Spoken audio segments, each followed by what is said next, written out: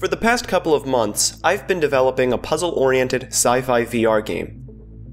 By now, we all know that realistic physical approximations can be incredibly fun to play around with in VR, which is why I'm implementing as many of these hands-on puzzle elements as possible.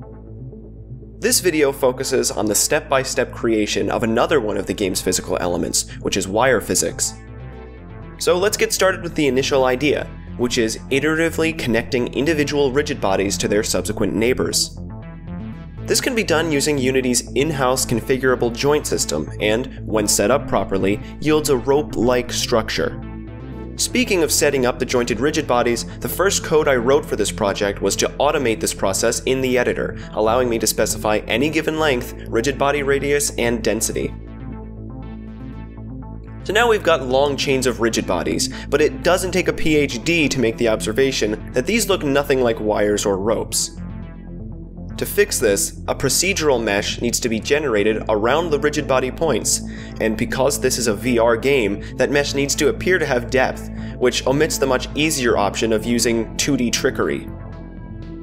If it didn't take me so long to iron out the wire system's many glitches, I would say that creating the procedural mesh was the most time-consuming part of the project, but no, it's never that easy.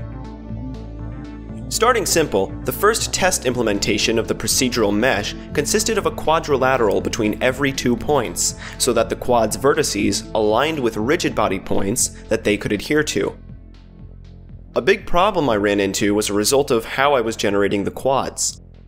For every vertice, a second one would be placed along the global y-axis, which worked when the global up-axis was mostly perpendicular to the vector between any given two rigid bodies, but it quickly fell apart at more oblique angles. The solution was surprisingly straightforward.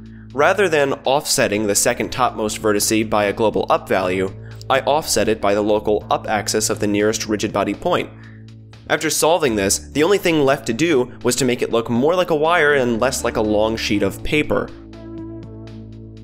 Adding depth to the flat mesh was a question of how much mesh detail could be left out before the player would start noticing. Fortunately, the answer is quite a lot, with only one additional subdivision being needed to give the illusion of a cylindrical shape. To do this, I added another set of vertices between the top and bottom, this additional set would be offset outwards by the radius of the rope. After mirroring the additional vertices to the opposite side, the process of creating a fully enclosed mesh around the rigid bodies was finally completed.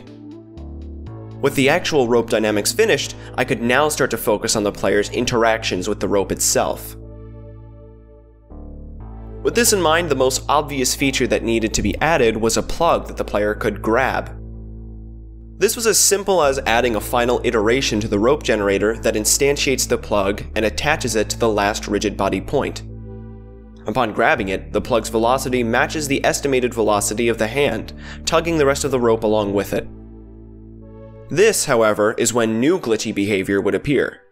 When the other end of the rope is also tethered to a static object, the rope physics quickly bugged out if the rope was overextended in any direction.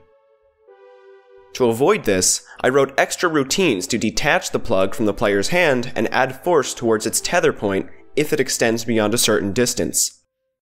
This had the benefit of simulated elasticity while also avoiding a catastrophic overextension,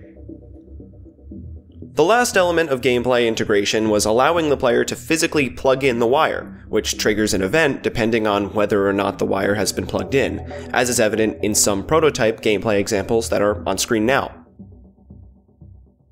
I believe a good VR experience should have plenty of entertaining interactive objects to engage the player, and puzzle elements are definitely not an exception. I'm still adding to and refining the game's physical elements, so I have more videos on this topic planned for the future. If you'd like to see those videos too, don't forget to subscribe to the channel. Thanks for watching.